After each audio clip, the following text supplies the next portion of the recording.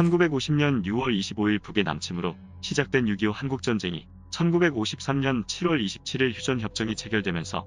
발발한 지 3년 1개월 만에 전쟁은 멈췄고 그로부터 1년도 지나지 않은 시점인 1954년 5월 20일 전쟁 이후 대한민국에서 치러진 첫 번째 선거 제3대 총선을 통해서 이승만 대통령이 당수로 있는 자유당이 총 203석 중 114석을 차지하며 과반수 이상의 의석을 확보했습니다. 대한민국 초대 국무총리 겸 국방부 장관이자 자유당을 창당할 때는 부당수로서 제2대 대선에서는 자유당 부통령 후보로 출마까지 했던 이범석이 이승만 대통령의 견제로 인한 낙선과 전쟁 직후 발생한 전국은 간첩 사건 등으로 숙청당하면서 2인자로 급부상한 이기붕은 1953년 12월 자유당 중앙위원회 의장이 되어 당을 제3대 총선에서 승리로 이끌었고 국회의장에까지 당선되면서 이승만 대통령의 3선을 위한 개헌 작업에 본격적으로 돌입했습니다. 개헌을 위해서는 국회 제적인원의 3분의 2 이상의 찬성, 즉 총 203석 중 3분의 2에 해당하는 136명 이상의 국회의원 동의가 필요했기 때문에 114석을 차지하고 있던 자유당으로서는 무소속이나 다른 당의 의원들을 포섭해야 하는 상황이었습니다. 이에 자유당은 친이승만 정부 성향인 무소속 의원들을 접촉하며 이중 다수의 의원들을 포섭하여 자유당에 입당시켰고 김두한의 경우 선거 유세 중 이승만 정부를 비판한 것을 선거법 위반으로 엮는 등 궁지에 몰리게 한 후 자유당에 입당하는 조건으로 회유하는 등 반이승만 성향의 의원들까지도 각종 협박과 회유를 통해 자유당에 입당하거나 입당하지 않아도 삼선 개헌에 동참할 것을 종용했습니다. 이렇게 이승만 정부와 자유당은 전방위적 포섭 작업을 통해 제적 의원 수의 3분의 2에 달하는 개헌 가능성까지 의원들의 동의를 구하며 개헌 분위기를 조성하는 것과 동시에 1954년 10월 26일 야당인 민주국민당 선전부장 함상훈이 당수인 신익희가 6.25 한국전쟁 휴전 협정 체결 직전인 1953년 7월 26일 인도 뉴델리에서 전쟁 중 납북당한 후 북에서 활동하던 조소왕을 비밀리에 만나 비공산주의 비자본주의를 추구하는 제3세력을 규합하여 남북 협상을 추진할 것을 계획했고 그 세력들이 현재 민주국민당 내부까지 침투했다는 내용의 성명서를 발표한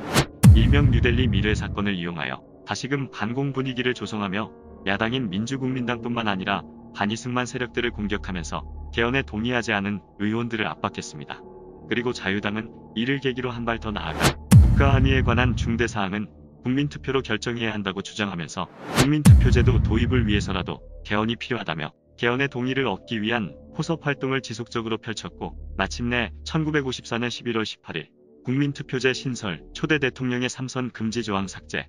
부통령에게 대통령제의 승계권 부여 등을 골자로 하는 헌법 개정안을 개헌을 끝까지 거부한 김두한을 제외한 자유당 의원들과 무소속 의원들 도합 136명의 서명을 받아 국회에 상정했습니다. 그리고 1954년 11월 27일 상정된 개헌안에 대한 표결을 진행한 결과 제적인원 203명 중 재석인원 202명에 찬성 135표, 반대 60표, 기권 7표로 헌법 개헌에 필요한 정족수인 제적인원 203명의 3분의 2인 136표에서 한 표 부족한 135표 찬성으로 당시 사회자였던 국회부의장 최순주는 부결을 선포했습니다. 1954년 5월 20일 제3대 총선 이후 수개월 동안 이승만 대통령의 연임을 위한 삼선 개헌에 공을 들였던 이기붕을 비롯한 자유당 수뇌부들은 개헌 가능선인 136표로부터 한 표 부족한 135표로 개헌안이 부결된 것을 어떻게 해서든 뒤집기 위해 골몰했고 이승만 정부의 옹호적인 입장을 취했던 서울대학교 수학과 교수 등 전문가들을 앞세워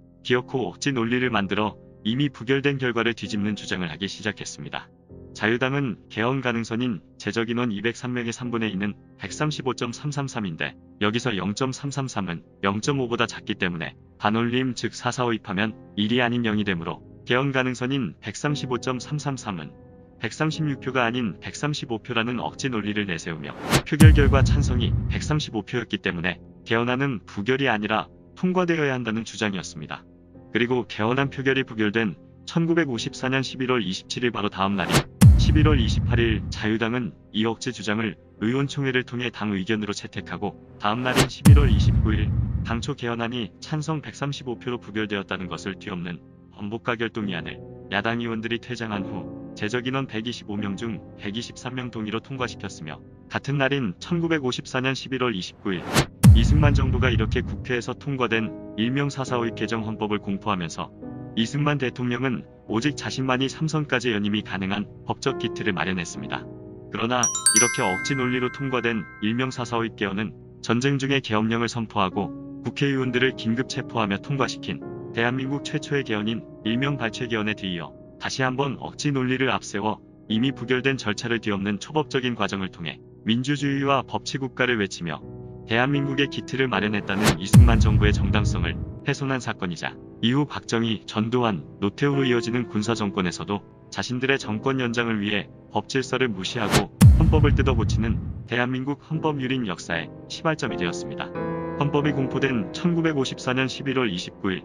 민주국민당을 비롯한 반이승만 정부 세력들은 국회를 퇴장함과 동시에 바로 민의원 위원대책위원회를 구성했고 바로 다음 날인 11월 30일 범야당 연합 호원동지회를 결성하여 신당 창당 준비를 시작했으며 국가의 근간이 되는 헌법과 법질서를 무시한 이러한 만행에 불만을 품은 자유당 내 소장파 의원들도 탈당을 하기 시작했습니다. 그리고 이 역사 속에는 제3대 총선을 통해 경남 거제에서 만 25세 나이로 국회의원에 당선되었고 훗날 대한민국 대통령까지 당선된 김영삼도 있었습니다. 당시 최연소로 국회의원에 당선된 신출내기 김영삼은 경무대에 직접 찾아가 이승만 대통령, 이기붕 국회의장 앞에서 언성을 높이며 적극 불만을 표했고 자유당을 탈당하여 이듬해인 1955년 민주당 창당발기준비위원회 33인 중 한 명으로 참여했으며 민주당 청년 부장 겸 경남도당 부위원장 등을 역임하며 단이승만 정부 정치 활동을 시작했습니다. 또한 이 사건을 계기로 이정재를 필두로 하는 일명 동대문파라 불리는 무리들이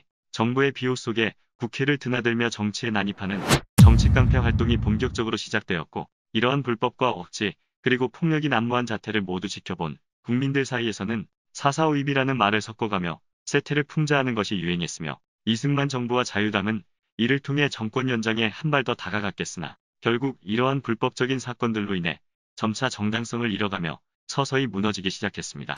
다음 편에서는 이번 편에 소개해드린 4.4.5입 개헌으로 삼선까지 연임이 가능해진 이승만 대통령이 어떻게 또다시 대통령에 당선되었는지 제3대 대선을 통해 말씀드리겠습니다. 끝까지 시청해주셔서 감사합니다. 앞으로도 저희 채널에 대한 많은 관심과 격려 부탁드립니다.